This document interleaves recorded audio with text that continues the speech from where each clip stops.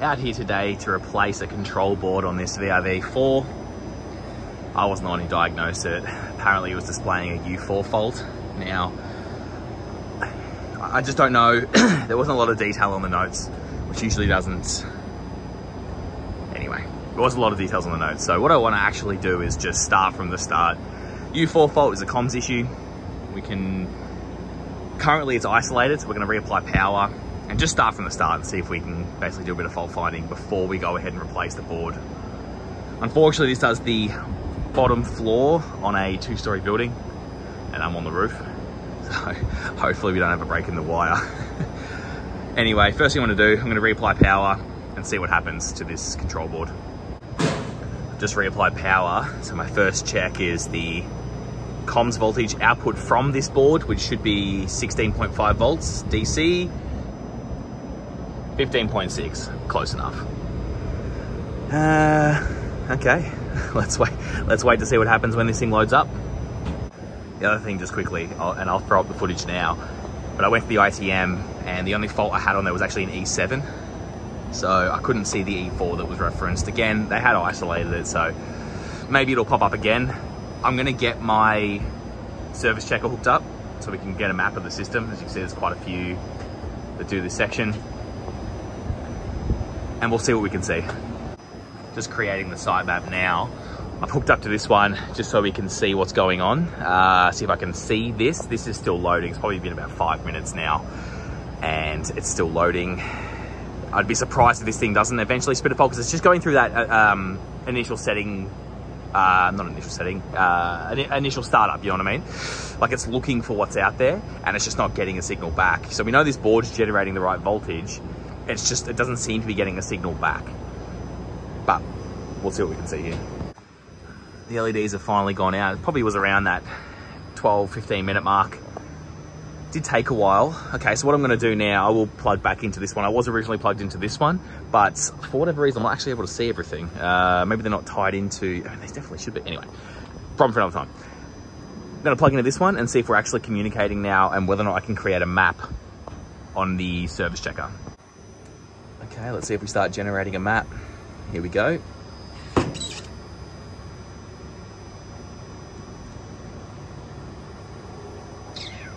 and it's just gone. Interesting. Oh, wow. The LEDs have come back on. That's weird. and now they've just turned off again and we're starting to, I mean, I did see those four just before and then they disappeared. Interesting. We can see I've, I've now got the condenser that's popped up but I've only got four indoors now. I did, oh, that LEDs have come back on. I did just check before, and they disappeared again, great. Um, I did check before, and this thing thinks, was it nine or is it 10? I forget. No, that's its end address, a return, so 10. Uh, 10 indoors it should have off it. What I'm gonna have to do is go downstairs and work out what area this actually does and see if I can kind of locate the indoors. So what do we got? So 53, 54, 55, and 56. So if I can find those AirNet addresses, I should I should be able to work out what else is going on, and, and maybe there's just one without power or something like that. But it does it does kind of seem that this board is is actually okay it might be an issue with somewhere downstairs. The weather's not looking crash hot, annoyingly, so I'm going to move my stuff inside while I go downstairs and play around, get these ones closed up.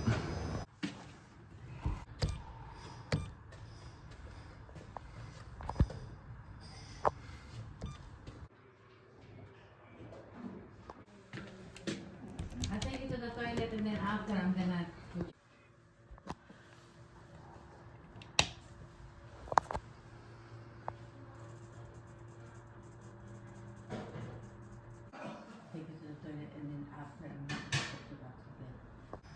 I'm gonna load the map again and see what we find now after we've turned that isolator on. Not sure why it was off. LEDs have come back now, so what I'm gonna do, I'm gonna isolate power again, let this de-energize, and then we will reapply power. It should go searching for everything again, and hopefully this time it finds everything. Uh, and then we'll run it through a test mode if we get lucky. It's been long enough now. Here we go. Just another quick thing while I'm waiting around for this thing to load up. Again, it's got exhaust fumes going straight into the coils. This one as well. This facility is not super new, but it's not crazy old, so uh, I'm sure we'll start to see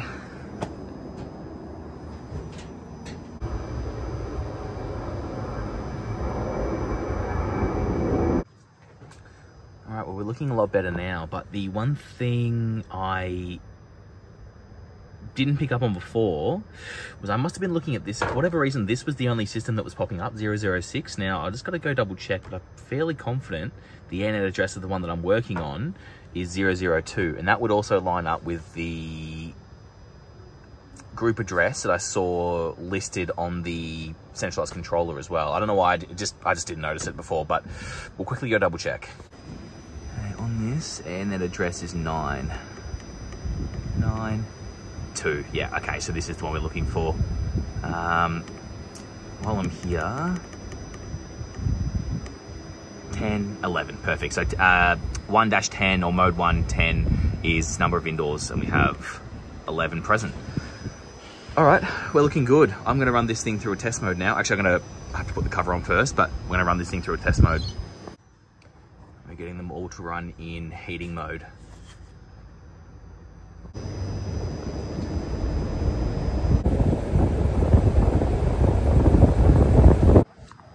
System's now running and heating. You can see there, it's only just turned on, so we'll uh, we'll give it some time before we start looking into all of this. But we're looking good. So I did forget to show that. This is an aged care facility with a heat pump, so that's always nice. Can't foresee there being any issues with that. Probably sitting around that 15 minute mark now. Things are looking pretty good, starting to come in line. They've obviously got a, a limit of 24 degrees on the remote control. I tried to set it to 26 just to get the thing to run. So a lot of them are coming close to set point.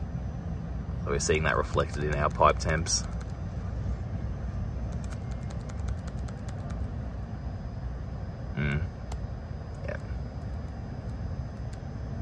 Yeah, honestly, we're looking pretty good here. The, the issue is going to be the fact that that uh, U4 issue was generated from the indoor board or indoor uh, indoor board not having power. Okay, so turns out that is on a different system, so we actually have a separate fault here with the E7. Cool, let's rock and roll. So you both E7s. Go, details please.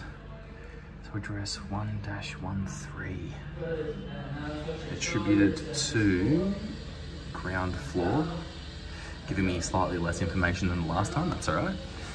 Okay, so we've got address anyway, so 113 and then details, your one, uh, oops, 1-11. I finally found that uh, standalone unit with the E7 fault. So there's actually two. I, I was looking for a, I was looking for a multi-head uh, because both two units have um, two units had the E7 fault. This is the first one, so I'm going to jump over and have a look. But the problem is, it's obviously got two-story roof, so I've got a harness on. Hopefully that came across. All right, so I reset it and it fired up. I, I had to go downstairs and fire it up, but it did fire up and the fan motor sounded like absolute garbage. And you kind of see a lot of movement here, but check this out. the back fell off. see if I can get you in there. Hopefully you saw that. That's crazy. Never seen that before. Wow. Anywho, uh, it spins, so the board's fine. I'm going to just replace the fan on this one. I believe the other one is over there somewhere. Up we go. There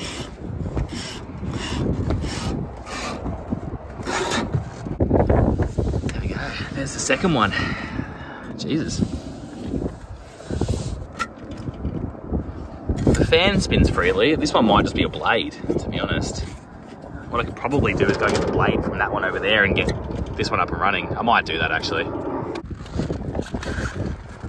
There we go. Spun it. Spins fine. Not hitting anything. Back's not gonna pull, is it? No, that feels alright.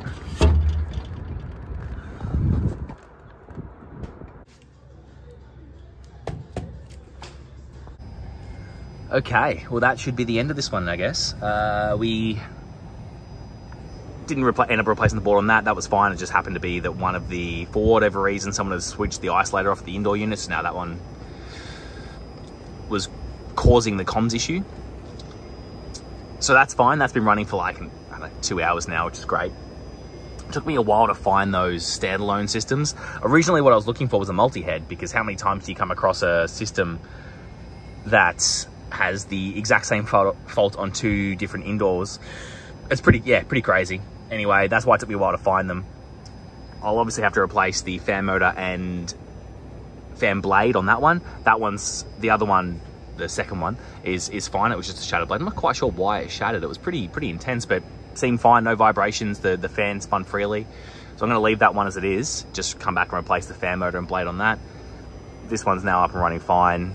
I'm just gonna do a quick sweep of the other, other units just to make sure there's no glaring issues. But outside of that, I think that's this one done. Thank you very much for watching.